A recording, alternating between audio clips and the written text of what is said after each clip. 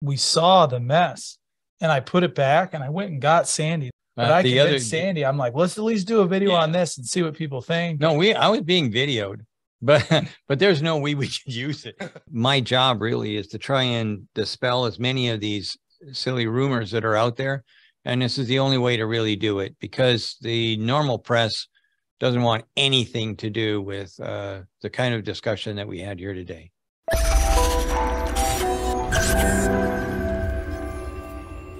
Thank you, everyone, for joining us today. Uh, my name is Barry Kresch. I see a lot of names I'm not familiar with. I'm the president of the EV Club of Connecticut. And with me is Paul Braren, who is the one who put this meeting together. So we owe him the thanks for that. And uh, we're very happy to um, welcome Sandy Munro and Cory Steuben uh, Munro and Associates. And with that, I just want to say a thank you to those people who participated with us in the Fairfield First Responder Training. And I will turn it over to Paul. So take it away.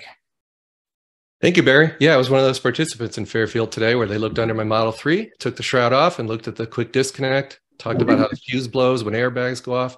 It was really cool to meet those folks. So, for those of you that don't know EV Club of Connecticut, that's the kind of volunteer work that uh, Barry does a great job getting the word out on on our evclubct.com website. But with that, I want to get right back to why we're here today, and that is Corey and Sandy. I get to meet them uh, about a year and a half ago in the middle of winter near Boston, and it was really amazing. Uh, what a crowd they gathered around their Model S that they were about to tear apart. This is a Model S Plaid, not just any Model S. And Yeah. sitting there behind the yoke, knowing I'd see the parts on YouTube a couple weeks later, just fun for me. And I'm going to show you why that's particularly fun for a nerd like me, because I'm going to remove the background blur and start with a question to get some audience participation. I know you're muted, but I want you to practice that little button, the gestures where you can raise your hand. So if someone knows what they're looking at, and Sandy and Cory cannot answer, what's this round thing behind me on the wall? Does anyone know? And Cory is smirking, Sandy's smirking. They know what it is. It's signed by somebody who's on this call. There's my hint. All right. Do I see any hands? Does anyone know how to figure out how to do the Zoom hand raise, or just nobody knows the answer? All right. I know microphones are muted generally here. Okay, we have no takers. So do I even ask my tougher question? And that is, what is that other thingamajig behind me that's rather large? And I'll give you a hint on that one too. See a bunch of electronics there. You see some safety gloves. Those are my hints. It might have something to do with a tent. Did you know uh, some cars have a tent? All right, there we go. So someone, Gavin Watson answered in the chat, by the way. Tesla motor internal plate. What do you think, Sandy and Cory? Ding, ding, ding. Close Uh, enough. It's close, Close enough. enough. Yeah. You want to It's called correct them laminate, slightly? There you are. Yeah. And then the oh, we we're not on the second one yet. Well, Go no ahead. one answered it, so go for it. What are we seeing behind me here? looks Uh, like the electronics bay. Yeah, it's the charge module and the DC to DC converter on top of the cooling plate, which is under Yeah. the penthouse on the on the battery. Yeah, not only a Model 3, a Model Y, and the Model S all use all similar componentry. Yeah. Some Exactly. some changes happened only because they either upgraded a little bit or uh, moved away from an outside supplier, decided to do it on their own. Uh, that's what Tesla does. but they're all pretty much the same.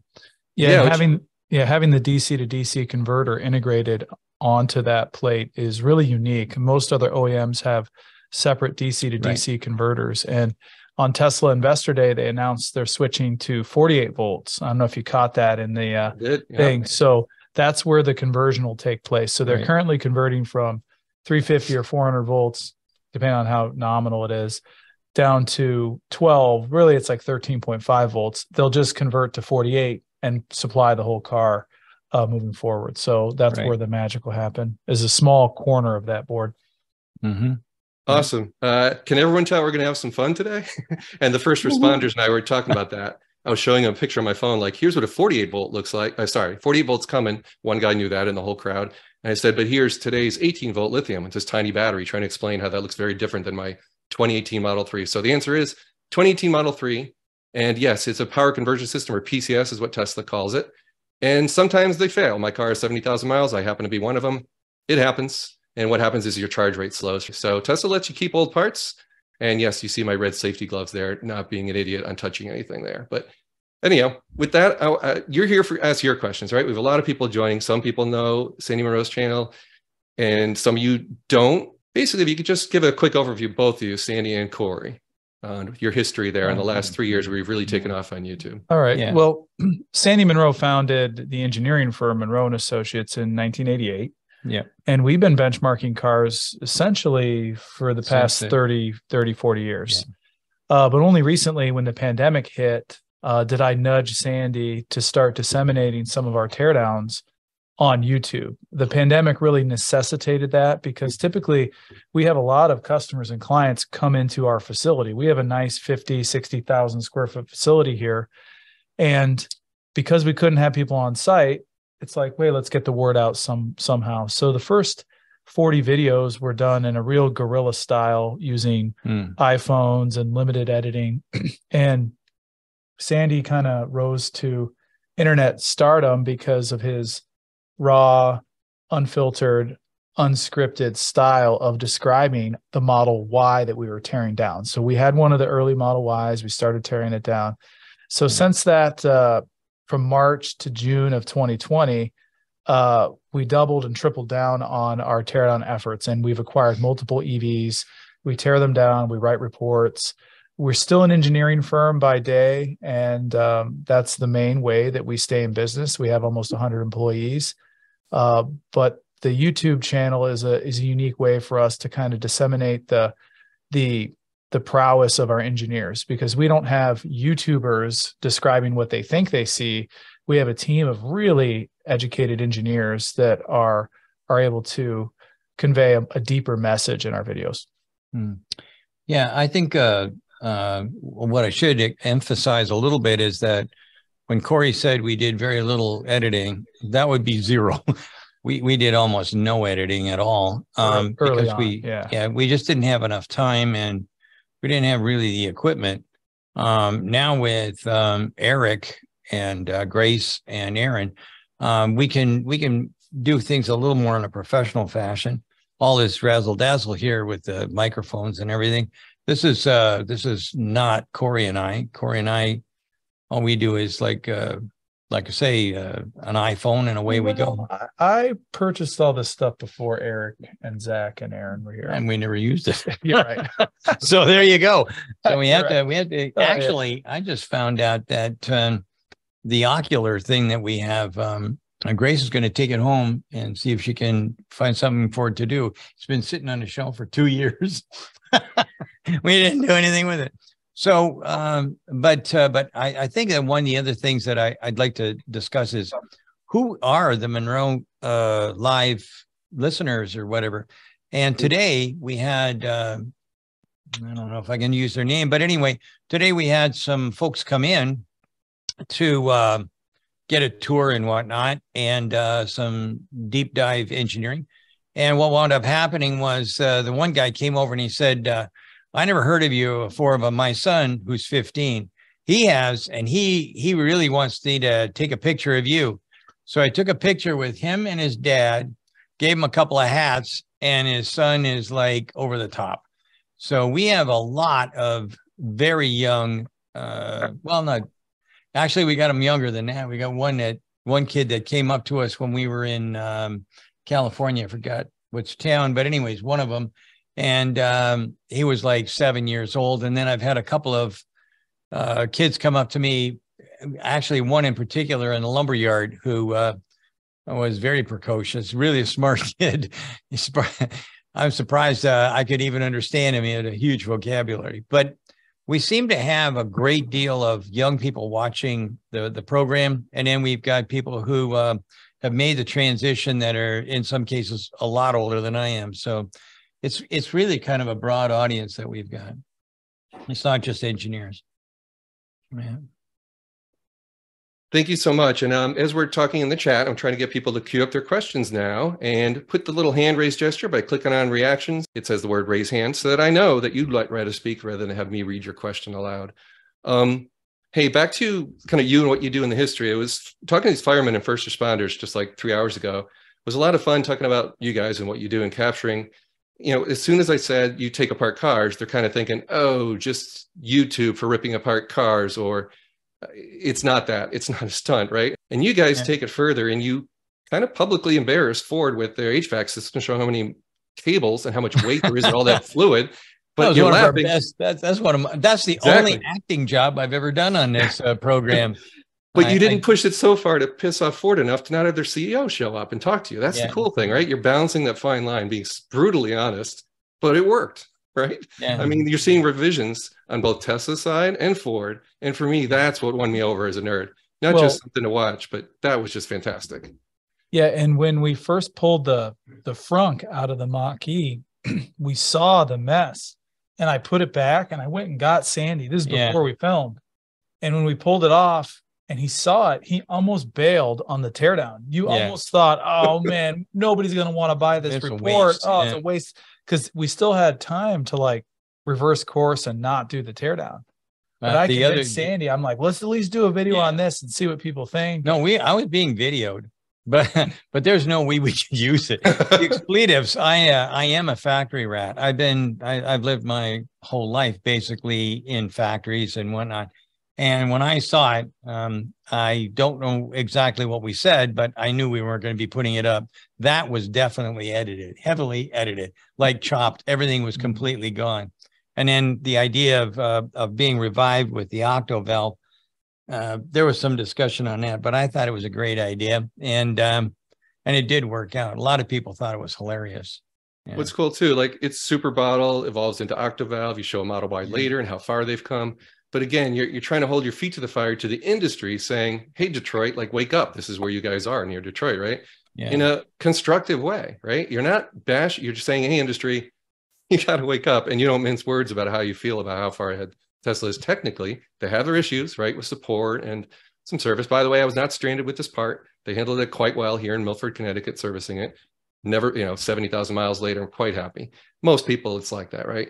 But there are some rough edges with any company, and you call out those rough edges, including electrification of, or sorry, DC fast charging. What a problem that has been. And right here in Connecticut, Yeah. right over the border in Brewster, we have one of the first magic docks, and I was there filming. That was a lot of fun to see the reactions of people in their Teslas seeing Rivians and Mach-E's pull up, and some trouble with Ioniqs not charging at all. Uh, early adopter pain, just like Europe had a year ago when they opened up the Right. network over there. Um, do you guys have plans, or I I think a tweet went out where you're trying to get your hands on a supercharger, like a V4 from Europe would be cool. yeah. I guess you well, probably can't say anything about that, and the likelihood of Tesla Uh, shipping you that from Buffalo seems pretty slim, but we- be cool.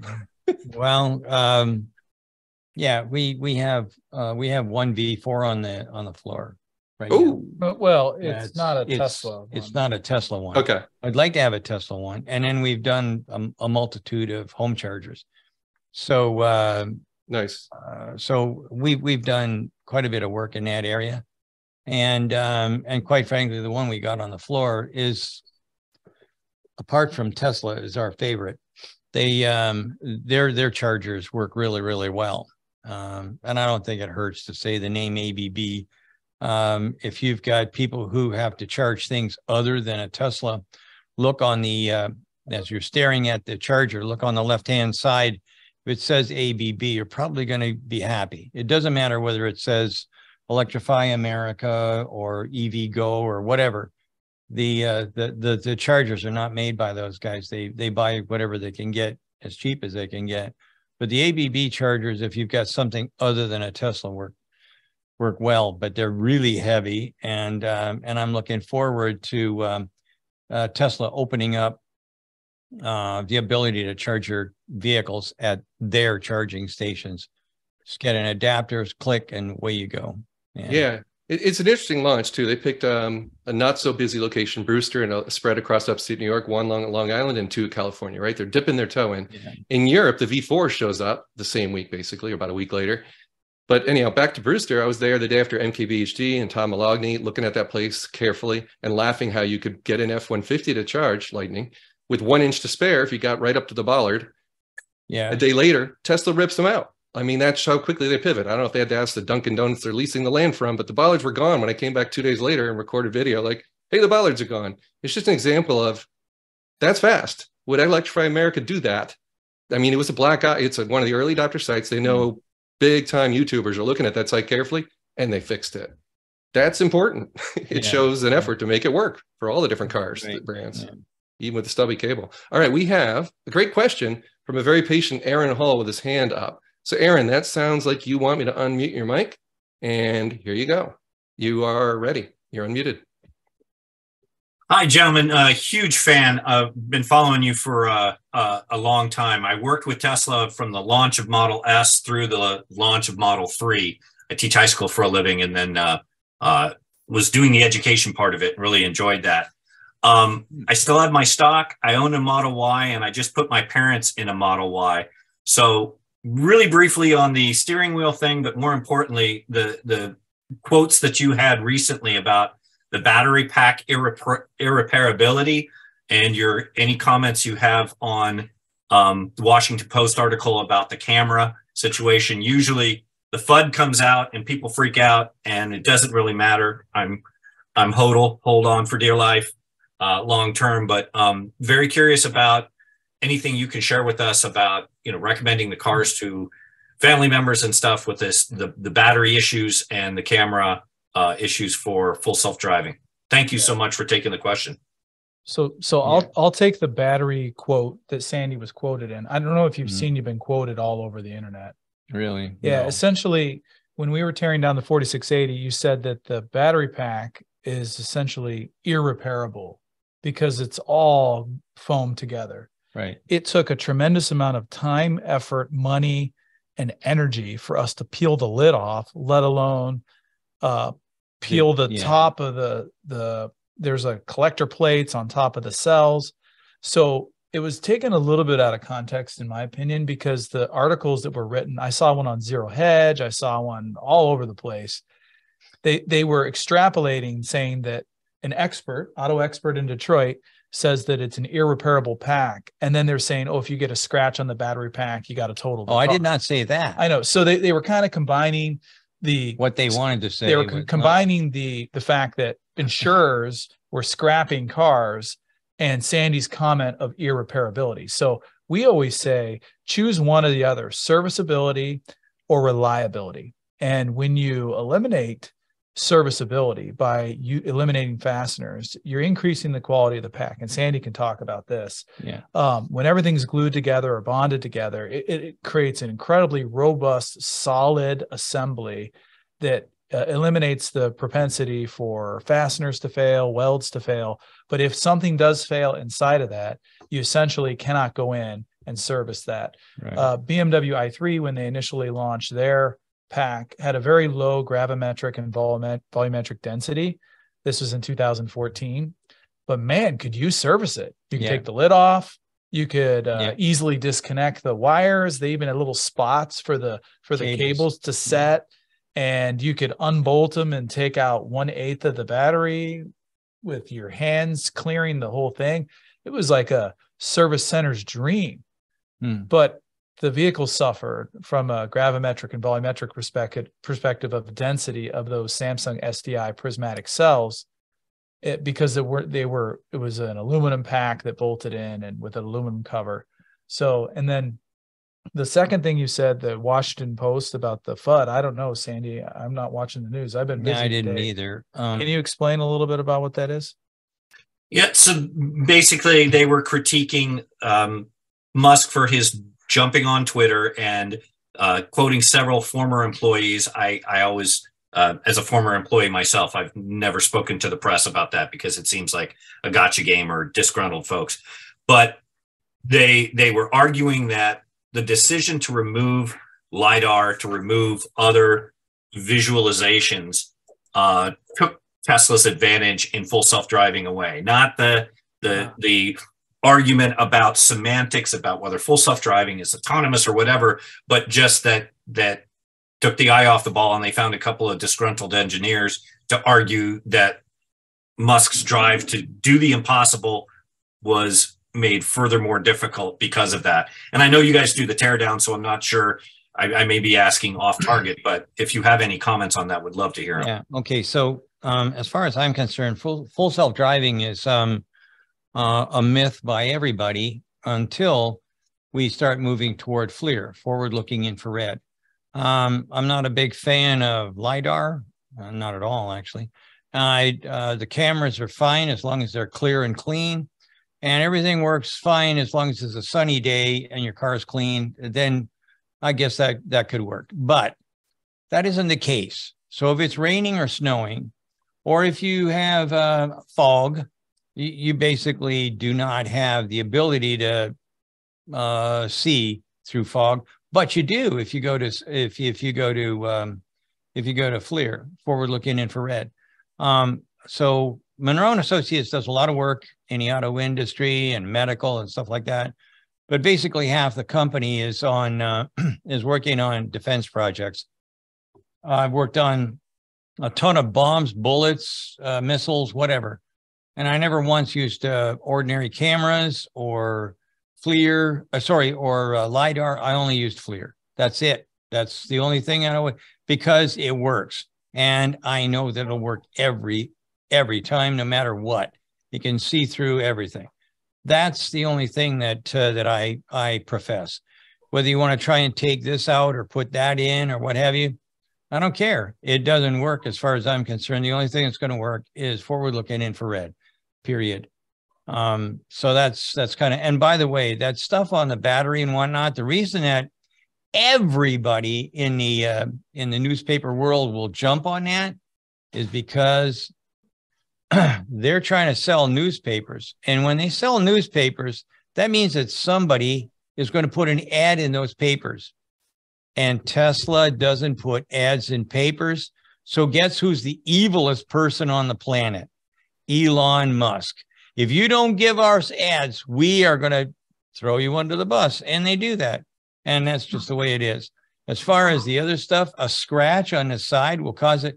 Obviously, that man has never done anything in engineering. My guess is um, his job uh, might have been maybe he was uh, glorious at washing dishes or handing out hamburgers or something uh, before he got to be a, a newspaper reporter. But I can tell you one thing for sure you do not scratch you do not scratch any of the batteries in Tesla and cause them to erupt or fail. That's just plain old bull. And by the way, this, I got some guy phone me up, some newspaper guy phoned me up this morning and talking, and I had no idea what he was talking about.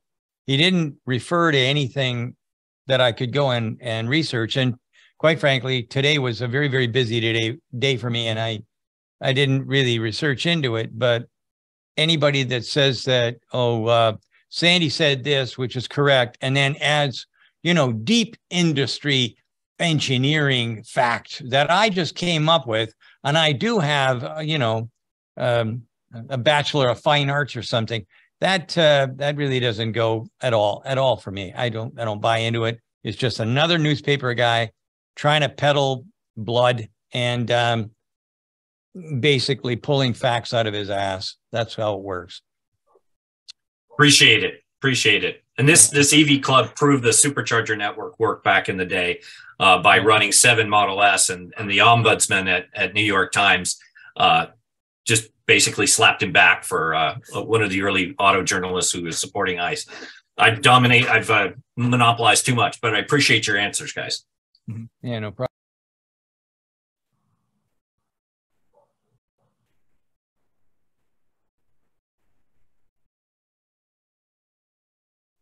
You're muted, Paul. Thank you for that. Hit the wrong button when trying to mute him. All right, so Stanislav has the next question queued up. But for those following in the Zoom chat, I'll just point out that I threw a car vehicles by fire type where a pretty popular uh, auto insurance article. It's hard to tell how reputable, but something like one one thirtieth is likely for an EV to go up in flames as a PHEV. So just think about that, right? just like you guys were saying, think about your sources of your information and don't jump to conclusions based on you know one tweet or an article. But let's move on. Keep it happy and keep rolling here. So let's go to uh, that question i'm trying to find again. There it is stanislav. Let me go so back i i can say it you... yeah.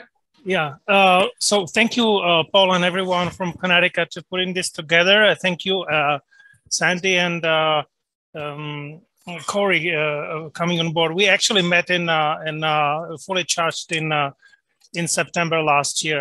Um, I'm uh, very excited about Aptera. I invested, um, and uh, I'm, I'm just curious. There are so many things that I could ask, but just uh, I can start with this this one. So when uh, when they announced the launch edition, they said, "Okay, we will not have DC fast charging," and there was lots of outcry. And a few days later, they said, "Okay, okay, we are putting it back. We are putting it back, right?" And then in the context of what's going on now with the, with the Tesla opening up, uh, it, it's just I'm just curious how it's going to work because they have the Tesla plug, but um, uh, so so will the, will the DC fast charging work directly? How, how, how does it work? Thank you.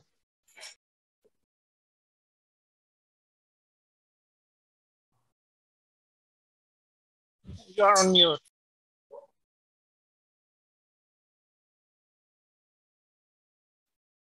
Working to unmute Eric. Give me a second here. Yeah, yeah. got. I, Yep. okay, okay.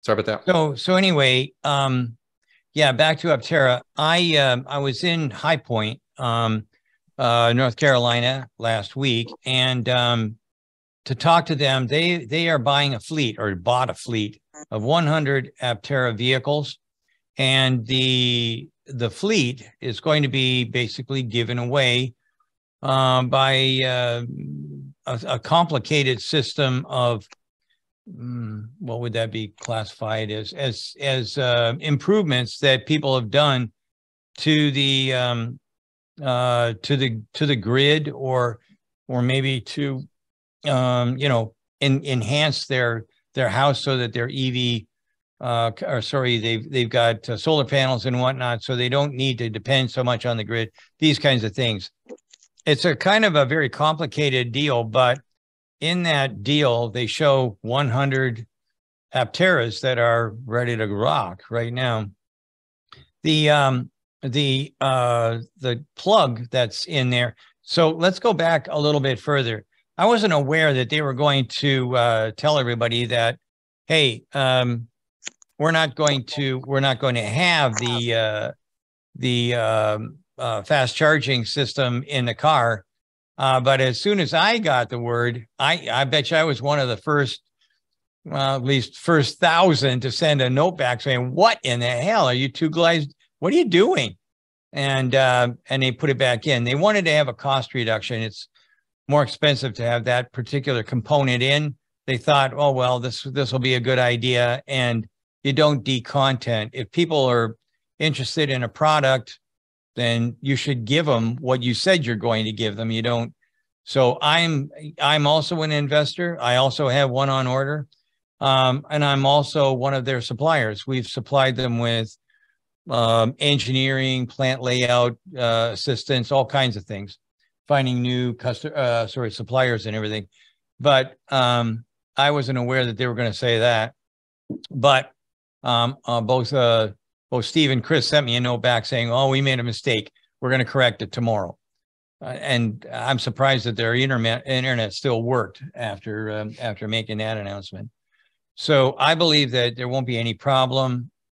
Um, that's a relatively small battery that they have. Um, I mean, you plug it in, but it'll be charged in no time flat, because mostly it's looking at uh, you know you're you're looking at getting solar power. So I don't I don't think you're going to have any problems uh, anymore. Uh, in fact, I could almost guarantee it. Thank you. You're welcome. All right. Thank you. Next, we have Frank. Uh, let's see, Frank Hall. And is your hand up? Mm, Frank Hall, you want me to read? Okay, your hand's not up. I'll go ahead and read your question. So you, have a, you said there's a lot of talk about charging batteries that tend to make them deteriorate quicker. So now we're talking about longevity batteries, long life. Is that true? Thanks. And it sounds like, um, well, we're probably about to talk about LFP and chemistries and stuff. So yeah, if you could kind of recap your thoughts on that for Frank Hall, appreciate it. Yeah, I can do this. Yeah, go ahead. Yeah, so 1500 DC fast charging cycles, I think, is a widely published uh, limit for a battery b- before you get to 80%. I, I don't remember the exact literature, but I think it's 1500, which is quite a bit.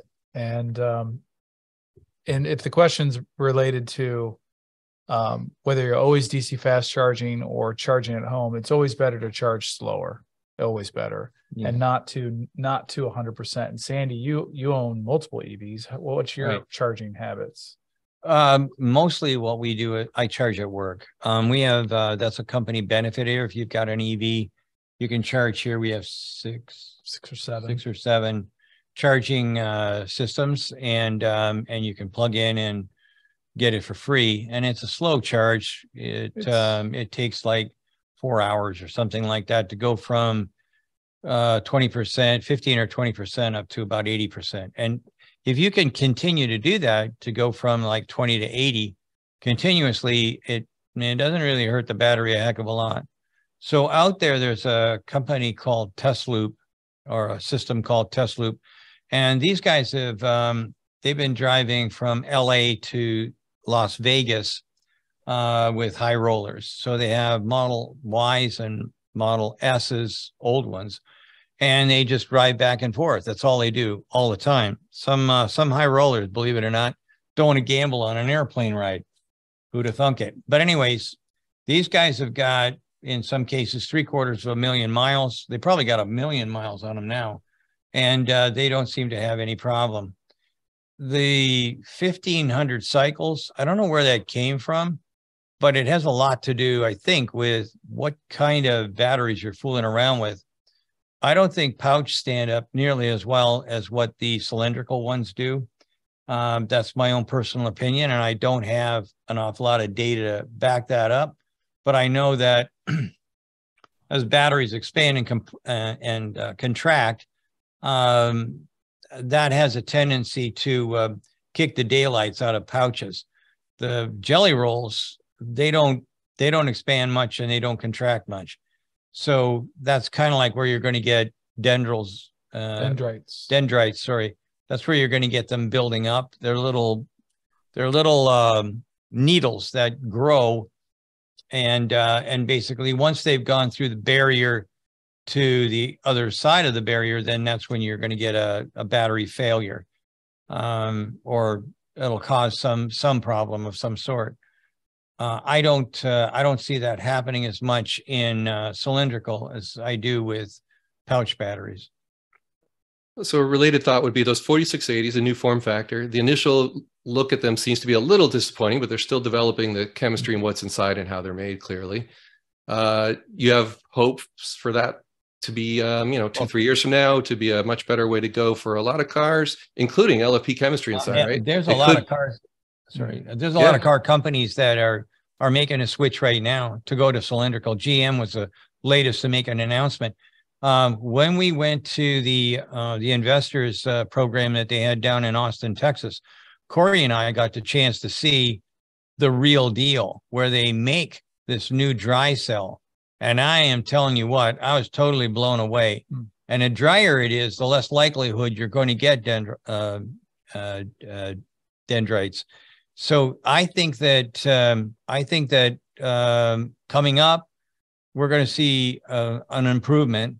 But there's even something that's better um, that uh, that we're all hoping for, and that's um, that's solid state. Sitting on um, sitting on my desk as a somewhere as a folder. I'm going to be giving a, a a speech on battery technology. And in there is what I think is the real deal when it comes to a solid state battery. It's uh, it's actually using metal deposition or 3D printing. You call it whatever you want. Some people call it additive manufacturing. This is the real. This is what I think may be the the holy grail or what we could move to, and that will last indefinite. Yeah, and the big benefit there is a higher uh, kilowatt hours per kilogram, or watt hours Watt per hours per kilogram. kilo, Yeah. uh, upwards of 450 to 480 watt Yeah. hours per kilogram, where Tesla's more in the range of 250 to 320, depending on if you're thinking at a pack level or at a module or cell level. Right. And um, that that increase in gravimetric and volumetric density allows you to either use less cells or use less mass of battery so that you lower the weight of the vehicle, thus increasing range, or you can increase range with the same amount of volume and mass. So um, you'll first see solid state deployed in high performance scenarios, whether that Mm. actually aerospace, um, That's the big one. aerospace, space, or VTOLs, high performance hypercars, where uh, energy density and mass is at a premium. Mm. And then you'll see penetration into the mass market probably uh, three to 10 years after that as it becomes more uh, readily available. But Well, it depends on how fast they can get the cost down. We should also maybe talk about SES actually, which is in Boston. Um, we went to have a look at them. They also have uh, a battery system that's uh, quite a bit different. They have something um, lithium that's metal, called lithium metal. Um, and that um, that has a lot of promise. And it also has something like about four eight uh 450 450 450 um watt hours watt per hours per kilogram. So that's very, very high. Uh, they're not into production yet, but they have, they definitely have got uh, something that's worth looking Yeah, and at. they're they're backed by Hyundai, Honda, and General Motors. I think they're so, partial yeah, owners. Mm. Yeah, so they got deep pockets and people who probably uh probably gonna survive what's going on next. Actually, GM's got their foot in a lot of different um technologies. They they have uh something going on with LG, although I have no idea why. If LG dumped me in a and I wound up with 130,000 cars, I had to basically scrap. I wouldn't be happy with them.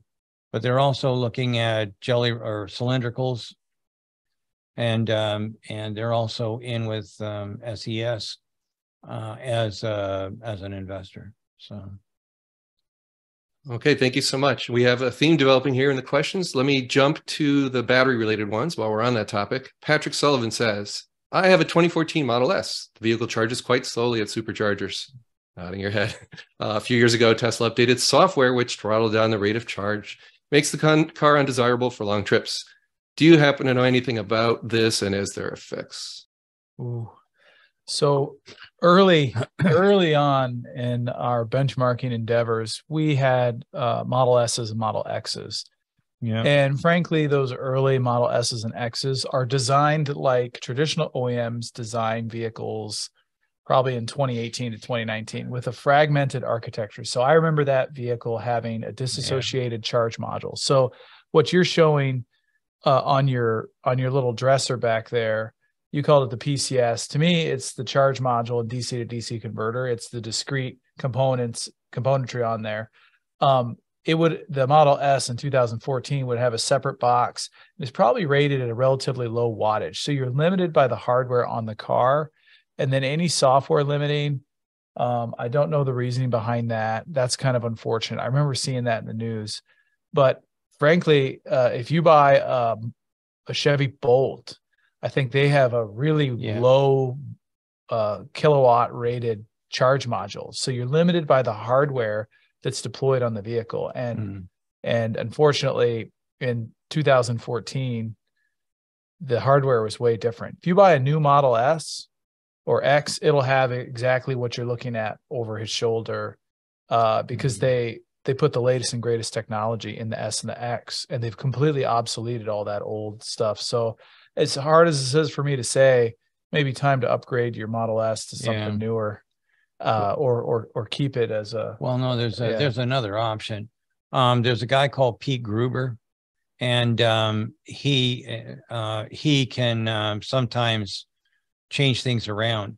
He's Well, yeah. kind of like the expert when it comes to um, upgrading upgrading your car or taking uh, he's really famous for taking dead uh, roadsters and uh, reviving them so if anybody knows it's not going to be us for that because that's before our time but i think that pete could probably uh, pete could probably help out or he might be able to help out. So reach out pete gruber's his name. You uh, look him on the web you'll you'll be able to find him Okay, great. I threw it in the chat, Pete Gruber's homepage there. And we have a question from Stanislav again. Uh, well, actually, no, I'm going to go back to Dell Weston's question because it's on the topic of chargers. And Randy, I see your hand up. Let me just uh, go back to batteries and charging. So he's talking about Chevy and the Bolt. Um, I think it was just yesterday there was some PR about maybe 56% of the Bolts batteries have been swapped so far. So it's taken GM a while to do the 100% fleet. Um, and I think, and nerfing might not be the right word, but limiting people to 80% and maybe gradually creeping up uh, while they wait the long wait to get their battery replaced seems to be Chevy's uh, current strategy on the Bolt replacement. People might not be pleased with that, right? But they're trying to keep the car safe while the long Yeah. wait is happening. Yep. So you don't get nasty signs telling you not to park in a certain garage and all that. I don't know if that's working or not, but that leads all to Del Weston's question. Here's what he says. Chevy doesn't seem to show concern for charging the newest bolts to 100% constantly. Please comment.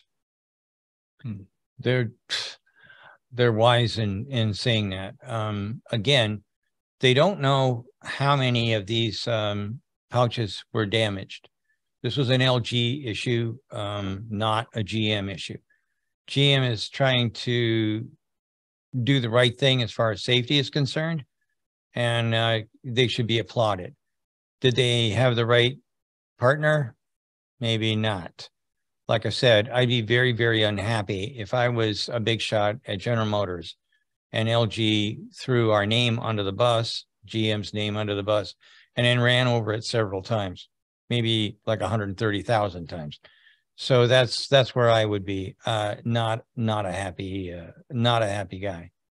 So um, I would suggest that whatever General Motors has to say, that's what you that's what you should probably do because probably 80, 90% of those battery packs are just fine.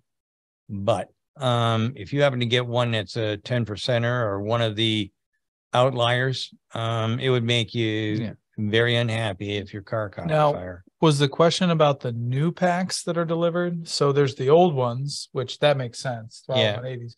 I think the question was the new ones, they're saying only go to hundred percent, probably when needed for road trips. Is that what the question was? No, I thought it was the oh, the ones that have been replaced. There's like 56% The new ones, they're Yeah. still telling them to keep it down. on the new ones. Yeah, that's the question. Yeah. Yeah, that was my question, whether, whether the, the ones that are just, mine is supposed to arrive this week and, and the, they don't, didn't seem to have any concern about always charging to hundred percent, but I'm not clear if I'm getting the right, uh, the right info. I I don't understand if you've got the new battery pack. I don't understand why there would be a restriction. Um, uh, I'd have to know a lot more before I could make a comment on that. I thought you were talking about the old ones. There, absolutely don't don't do anything except for what General Motors has told you to do. The new ones, maybe they've lost faith completely in LG. I don't know, but uh, the new ones should be Should- an should be ordinary fine. battery pack. It's just it Yeah. should be just fine.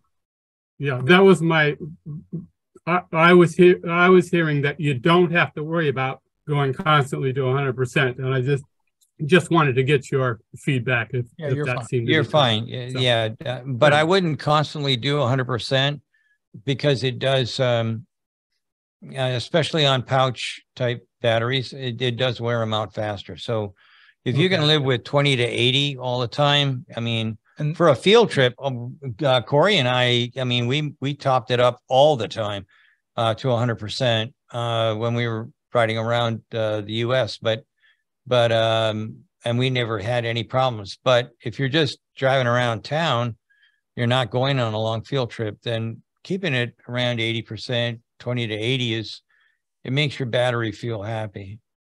And it doesn't. And by the way, it's faster too. If you're at twenty percent and go to eighty percent, it's quick. When you get that last ten percent, the last ten percent is what really, it's about the same amount as going from twenty to eighty.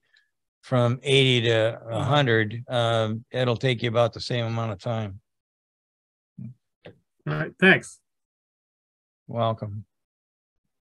All right. Thank you, Dell, for, for clarifying the nature of that question. And um, yeah, I mean, just for people listening along and hearing this, LFP is something you might hear, and there's like a Tesla Standard Range Plus that has that. That is a car where you just slide the slider up to 100% and you can just leave it there and not be road tripping within a few hours. You could just let it sit for days. That's a different thing, though. Uh, with the Bolt, maybe it's just Chevy's way of saying, yes, we have confidence this battery's safe. But as Sandy said, you don't want to do that on a day to day basis unless you're taking a long distance road trip. But the LFP is a the LFP is that's that's your best battery for long range. Um, one of the guys here in uh, Detroit, um, Mujab I, ID, sorry, Mujeeb Ijaz.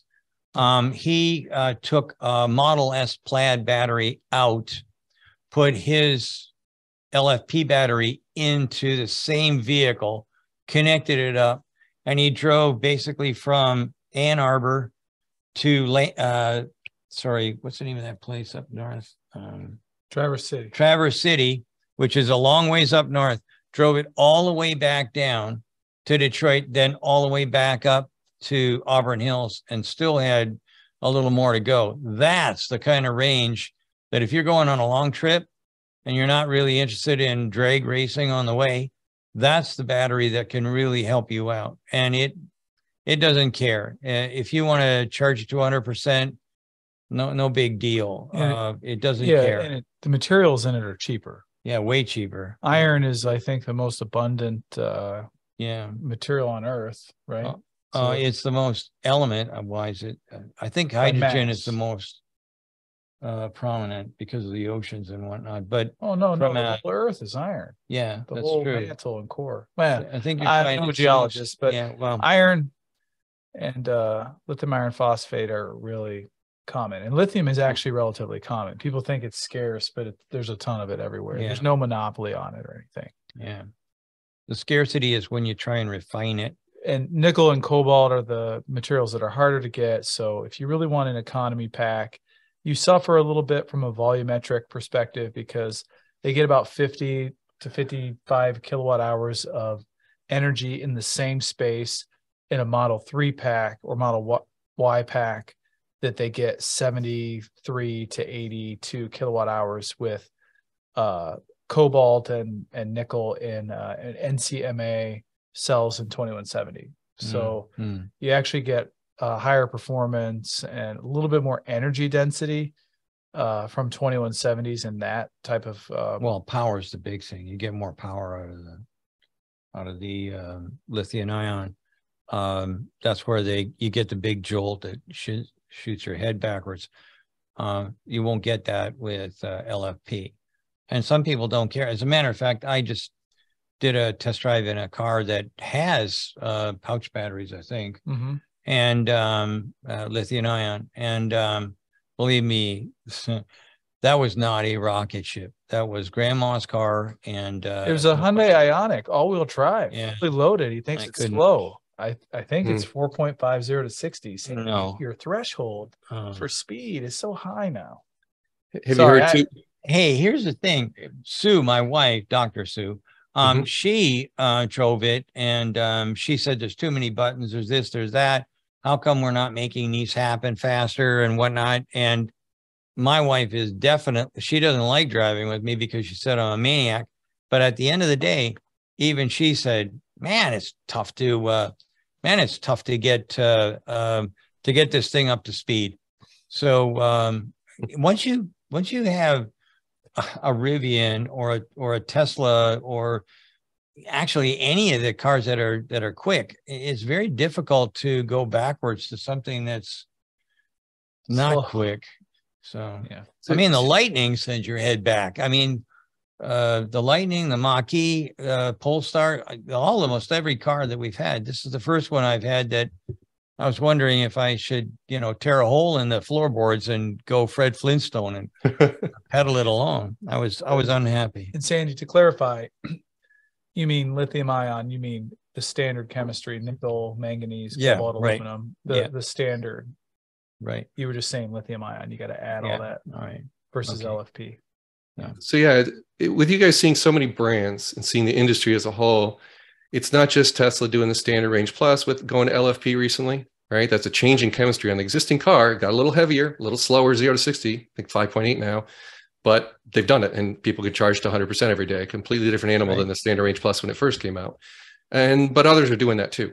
Um, Yeah. and you're seeing that more and more brands doing that with their lower and mid-range cars, right? They're following that model. Well, it, it's LFPs there. cheaper. It's much much. che- The most expensive thing in in the electric vehicle It's a is the battery. battery, Yep. and um and it's uh, the heaviest single component Yeah, I is the battery. on our Model Y, we did a full cost analysis. Just the cost of the battery was 24% of the cost of the vehicle. Yeah. Cost, they're- not price, yeah. cost. So it'd be interesting if you look eight years in the future, some of those long range standard uh, Model 3s from 2018 we'll probably have about the same range as some of the newer like 2021 LFP based standard range plus. Yep. They'll meet Oh, because yeah. right because the long term you can have that degradation on the traditional. Yeah. Yeah. Okay, so that's a good pivot. Well, you you mentioned uh, Cory, you're not a geologist. Daniel Whiteley Jr. asks, any comments on the new rare earthless motors? So rare earth material, you know, Yeah. motors that do not use Yeah, rare earth minerals. Yeah. So th- they'll still have magnets in the Yeah. rotors, but they'll just use standard magnets, which Right. are used all over in industry. A lot of hybrids Mhm. had just standard ferrous magnets inside of them, right? Sandy? Right. Yeah. The the big element neodymium is um is something that is kind of expensive. Um, it takes quite a bit more to process than than everything else, and it does give you um depending on how you configure them, they can give you wicked speed, unbelievable speeds. Um, but um, most people don't need those wicked speeds, so Yeah. it's uh it's not that So- big a deal. On Tesla Investor Day, they said that the new drive unit would cost roughly a thousand dollars. To put that in perspective, that's a little bit over a 50, maybe a 60% cost reduction Right. of what a normal drive unit would cost. Gearbox, motor, oiling and cooling system integrated to that, and inverter. So we've costed 14 of these drive units, and they're expensive. Some are as high as $3,500, Yeah. some are in the $2,500 range. So to get it down to a thousand, you have to get there two ways. You got to eliminate rare earth. You have to go to hairpin for the stator, and then you have to uh, reduce your reliance on silicon carbide for the uh, MOSFETs or IGBTs, depending on how you're setting up your inverter. If you can eliminate it, so they Tesla stated they're going to reduce. the- Alexa, turn off Bill's light. Oh, pardon me. Hello. I think it's a mistake. I'll mute him. Just keep continue. Um, Oh. So they uh, you have to eliminate the uh, the dependence on silicon carbide for MOSFETs and IGBTs because that's a huge cost driver.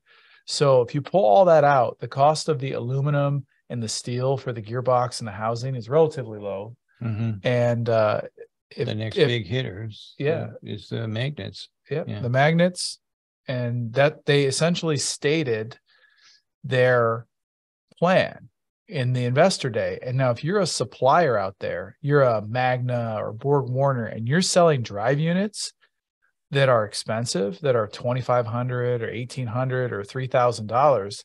You just swallowed real hard because an OEM said that they're making their own drive units and they're a thousand dollars. So mm-hmm. that means every large vestigial OEM like Ford, GM, VW is going to go to these suppliers and say, "Where's my thousand dollar drive unit?" yeah The- another key thing is in order for it to be that price, you're going to sacrifice some functional objectives. Those functional objectives will be performance and power. If you want a high performance, high power drive unit, buy a plaid that's wrapped in carbon fiber and has really nice magnets and has a high end, high power inverter.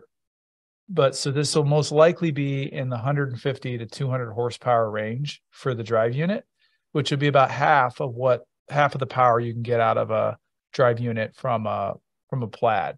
I think uh in a long range rear wheel drive, it's in the high 200s for horsepower, which doesn't have the carbon fiber wrapped rotor. So it, this won't be a world beater of a drive unit, but it'll be appropriately sized, powered, and the appropriate cost for a high volume, low cost EV that they can sell all around the world for 25,000.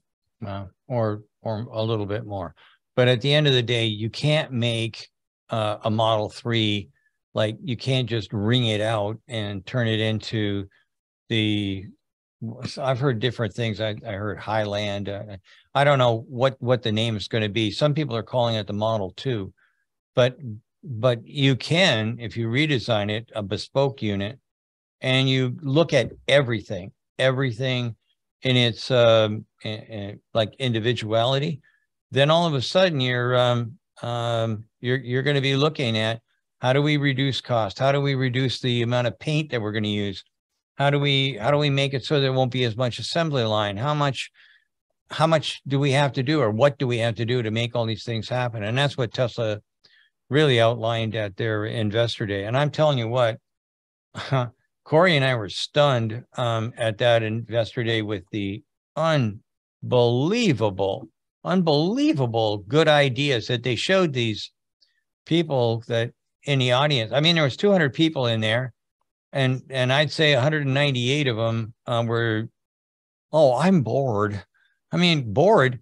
They they showed us how they're welding the um uh, the the the new electric motors together. These new hairpin motors. They showed us the dry process that they're using for the battery packs. They showed us all these all these amazing things.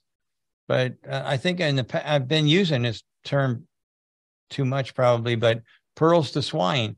It was like phenomenal ideas, but the but they but the people that were supposed to be soaking it up had no clue what they were talking about. Yeah, about. and two other big things was the Tesla OS. They talked about how they're Right, the employing their own software engineers to develop software solutions for how they do back end processing of orders and inventory and uh, AP and AR. Mm. That's something that I'm jealous of because Sandy and I we have to buy boxed uh, software to run the business, whether Mhm. that's our uh, HR systems or our 401k. We have all these different software packages.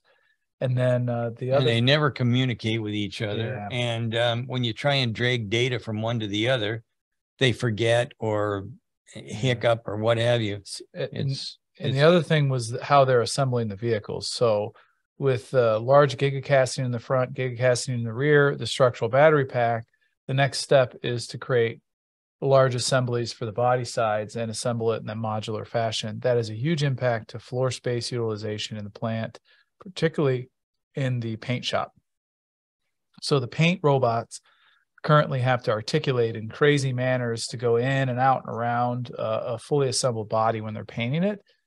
Uh, now, if you're painting, now if all those pieces are separate, the body sides, the doors, the hood, the deck lid, the fascias, uh, they can paint in a planar fashion. So essentially, you can align everything in fixtures in a plane, and that'll be a huge advantage to floor space utilization and robot complexity in the paint shop. And I'm not a paint shop person, but Sam, Yeah. maybe you can expand on that. Yeah, well, at the end of the day, what you're going to have is uh, something that's going to move a whole lot faster.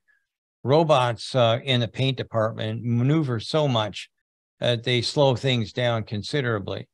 The paint shop is always um, a bit of an issue, trying to get it so that you can get a good paint job and still get it without holding uh holding up the rest of the assembly line. With these new um this it used to be called the lay down body side rail. That thing that is basically one half or one side of your car. By having that as cory said planar the the robots don't have to do much of anything they're just going to go up and down and around and that that that uh, uh, conveying system is just going to take it away it'll be painted on both sides you probably wind up with less paint being used well no problem but it will be less paint used. It's going to be a whole lot faster. And then when you slide those things out, they're going to be mounted directly to those castings. Those castings are going to give you the perfect fixture because the castings don't move. Sheet metal, when it's stamped, wiggles around. There's nothing you can do about it. So it'll go through, it'll get in there, they'll screw it or use uh, self-piercing rivets, but they'll also be adhesive of some sort. And when they get done, it's going to have a whole lot less, a whole lot less um, um, labor and uh, quite a bit of less, uh, an, an awful lot less uh, time to get them done. And by the way, the normal standard for for uh, a factory is stuck at is been stuck at uh, 60 seconds for quite some time. When Cory and I were walking through, I was timing the line, and they were at 43 seconds. That's a giant uh, that's a giant departure from 60 seconds. It makes a big, big deal with um, with how many cars you can get out the door. And they think they're going to go even faster in Mexico. So Hey, Sandy, um, I know to be respectful of Cory's time, he's got a bolt right now, and you graciously offered to stay on a little longer. Cory, we have a real quick speed crown question. It takes five seconds to ask and two seconds to answer. Monarch, I'll unmute you in just a second. Monarch, you asked, what do you like better for a choice uh, if you had to pick, Cory? Rivian R1S, Volvo EX90, Kia EV9, or would you wait for Tesla if they're ever going to bring a minivan or van to market? Uh, Kia EV9. There's your short answer. Thank you, mm-hmm. Cory. I know you got to go. Thank you so much for And, and I say that because I I own a Kia. My wife drives a Kia Carnival minivan. and I really like it. And we've been benchmarking cars for the past 30 years, and a lot of our support for Fiat Chrysler automobiles, many of the Kias and Hyundais were top performers all around from a cost, value, uh, functional objective perspective. They were always really high performers, particularly from 2015 and on. So Kia and Hyundai do make really high quality products. So, anyways, mm. that would be my choice. I got to take off. Thank, Thanks. Thank it was nice so seeing much. everybody. Thank you. Bye bye. All right, so Monarch, I've unmuted you. Um, you had a little bit of follow up there. Yeah, I the reason I was asking is because I drive Model Y, uh, which can carry seven people, but that's not comfortable. On the invest because Sandy spoke a lot about Investor Day, they were hiding two cars there under the white fabric. One of that was under the category of uh, the Cybertruck, and hopefully that's a minivan. But that's why I was asking, should we wait until that long, or if those EVs are coming out, which has, like when Hummer put the highest like battery out there on the the the General Motor put that on Hummer EV. I had a question: Why would not put it on a minivan and make it more accessible to families, which has more kids, more elder people? So I would like to know Sandy's thought on that. Great, thank you. Yeah, well, um, I've been talking to uh, two OEMs, and um, in both cases, I recommended that they have some sort of a minivan um, in their portfolio. Everybody is kind of looking for um, the market that they'll be able to make the most money at, and you make more money on trucks than anything else. So pickup trucks or delivery vans, things like that. That's where that's where they make their money, and that's what they'd like to focus on. But I'm pretty sure that you're going to see in the very near future at least two vans that are going to be coming out that I think will easily um, seat seven people. One of them actually, I actually drove and spun around and stuff like that. It's the uh, the uh, Canoo. That's that's something where you could have it could be an ambulance. It could be a bunch of different things, but it could also be uh, a minivan that uh, that definitely would uh, would seat what six, eight, eight. They've got two uh, drop seats in the front, so maybe as as high as 10, 10 people in that minivan. That's that's kind of like that would be a really a killer if they could get it to market. But unfortunately, I think they ran out of cash as well. A lot of people that were involved in that, um, uh, like Silicon Valley Bank, um, are really hurting right now. They'll probably go under because their cash has disappeared, vanished. We have a question about um, Ioniq 5s. It's a little trickier to ask this question. Those Magic Docks that let CCS cars, the EVs, charge at superchargers that's one car that's getting uh, not too much luck. One person got to charge it for a few seconds. Someone in Europe under my video that has almost 10,000 people looking at it on my TinkerTry YouTube channel.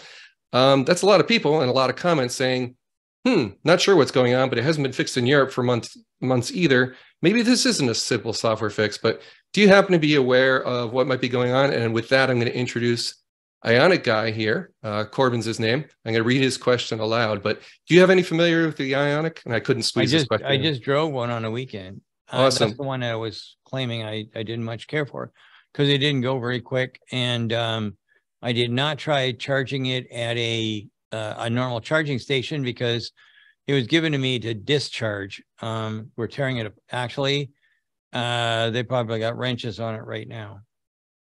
Okay, so yeah, what it specifically it's about this uh, eGMP platform where trying to get them to charge at these Tesla superchargers has been a challenge, right? So you got the software, the handshaking. The other cars that were there with me, uh, Lightning was no problem. Um, I believe maybe even some Genesis GV60, which is basically identical. It worked, but has a later software. So the theory was maybe the Ioniq with slightly older software just doesn't work yet. But it, it's just complicated because in Europe it's not working either, and they've had the superchargers with CCS connectors much longer open to other cars. So it's just one of those industry things. I meant to pick um, Cory's brain before he left on it too, but um, and Corbin doesn't have a microphone today. Corbin, let me read the rest of your question aloud here to make sure I squeezed it in. Corbin, it looks like maybe we don't have a, any new insight into the whole eGMP thing, and honestly, I haven't read too much more into it in the last two weeks. But as far as I know, of the 10, now 11 Magic Docks all over the US, New York and California only, excuse me, Of those, I don't think anyone successfully charged Ioniq with a decent speed for any significant length of time. Mm. Please let me know if that's wrong, someone in the comment. Lee, I don't know if you meant to ask that privately, but it, I don't see anything weird about the question, so let me go ahead and read it. I have a Model X. It will charge kind of slowly for a few minutes and then uh, go down to 50 kilowatts, taking an hour to get to 150 miles at a supercharger. All right. So it sounds like he has some sort of DC fast charging issue. He's not talking about home charging. He's specifically talking about a DC situation. Sounds a little unusual to me.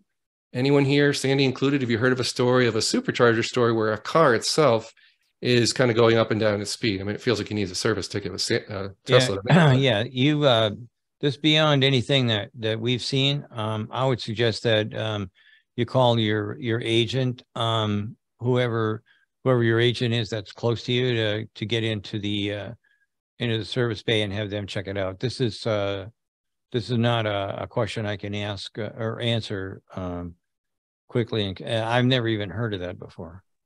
Randy, my apologies. I am unmuting you now. Your question is a good one. Excuse me. So go ahead and ask it about your model. Yes. Yeah. Okay. I'll, I'll, focus on the question. I have a couple comments about GM batteries and other things that I know about. But uh, the question I have is I've got a, uh, a 2014 uh, Model S that's got 100,000 miles on it, not a lot. I do road trips. And it's on its fourth, uh, now out of warranty, fourth um, motor repair, replacement, basically.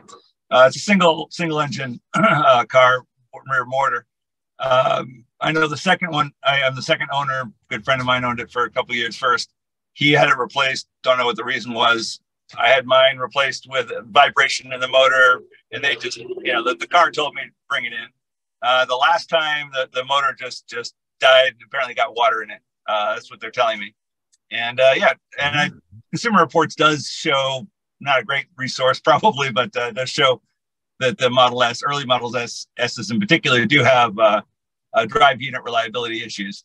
But uh, I'm, you know, I'm, I'm getting 25,000 miles on a, on a drive unit. And wonder what's going on. Actually, 33. I'm going on my fourth, so 33,000 miles on a drive unit, and uh, seems pretty poor.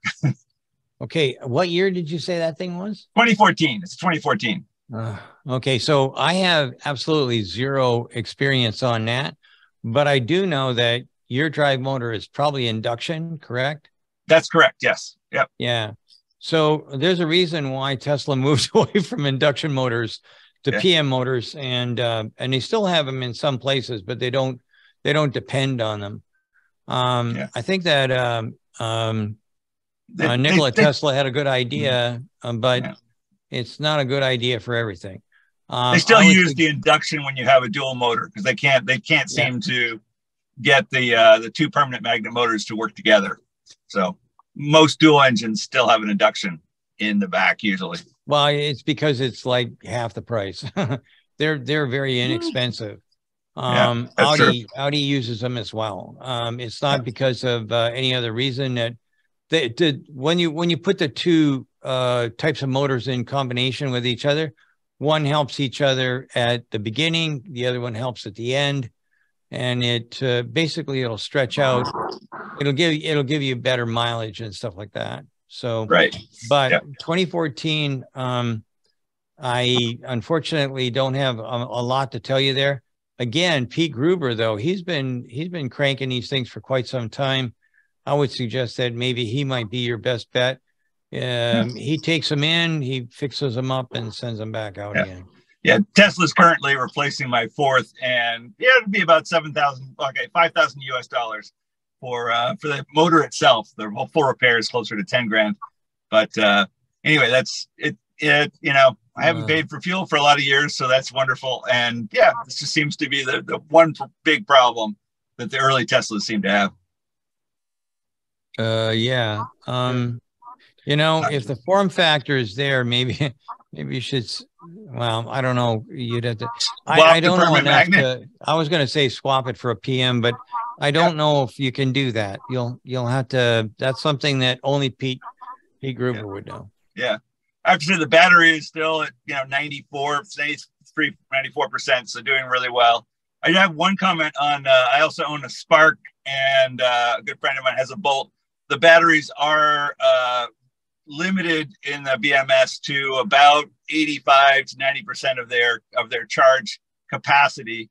So my Spark, I charge to 100% all the time. It's still at 100%, exactly as far as as it was when I was born. yeah.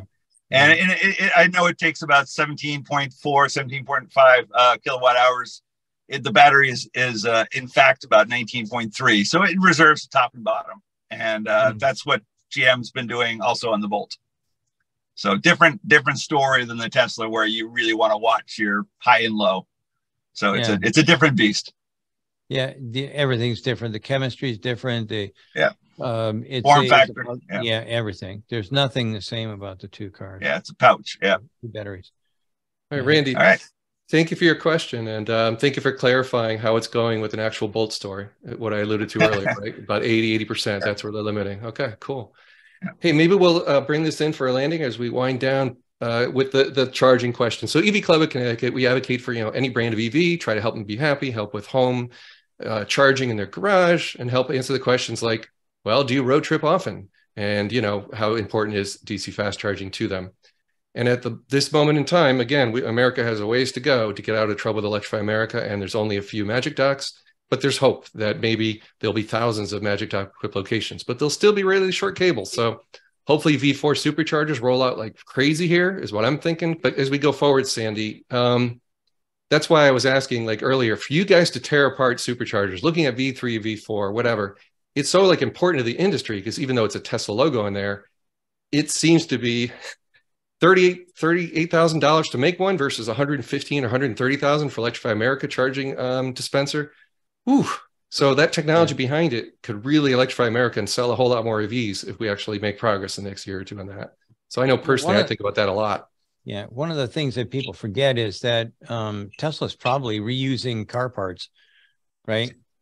why why would I even think about using anything but the inverter that I've got inside of a Model S or a Model 3 or whatever inside of my box? And and quite frankly, that is a much higher level of sophistication that you're going to find in anything in anybody else's um uh in, in anybody else's boxes um, even even ABB doesn't have that that level of um, of sophistication.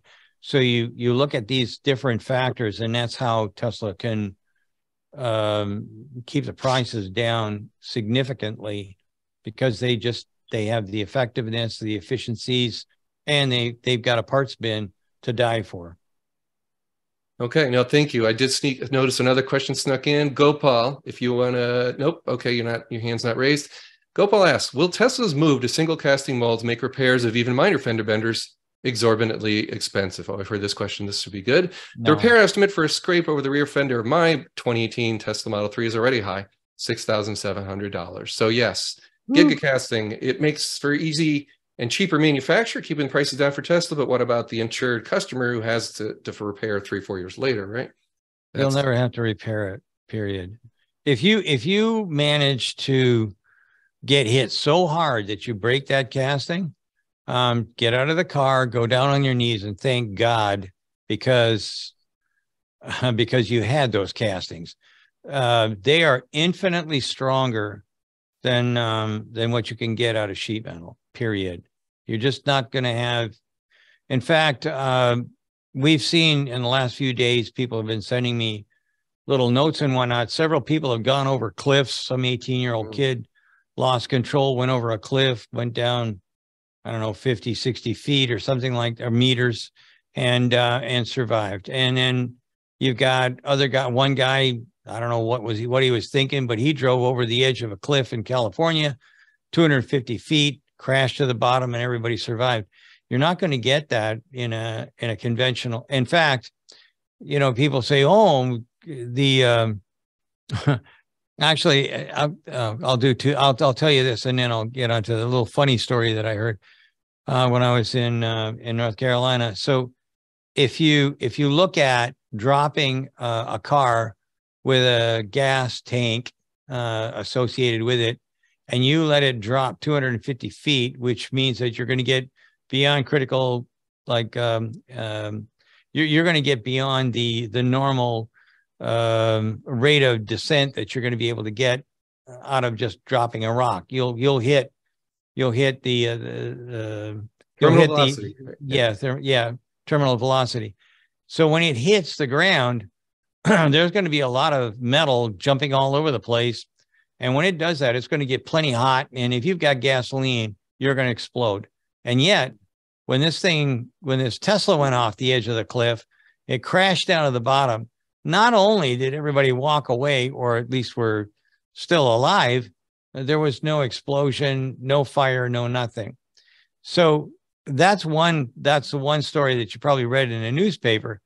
But the one that I was totally blown away with, I was with a bunch of students at uh, at a university up there, and a guy said um, he was definitely embedded in ice, and uh, and he said, "Wow, you know, I just read in uh, I think it was New York Times that in New York they have 10, 10 battery fires a day." And I stood there for a second and I said, I I I talked before I was thinking. I, I try to be sort of civil.